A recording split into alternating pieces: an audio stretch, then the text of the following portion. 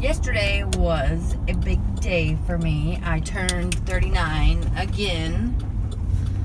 and um, Ryan took me out to dinner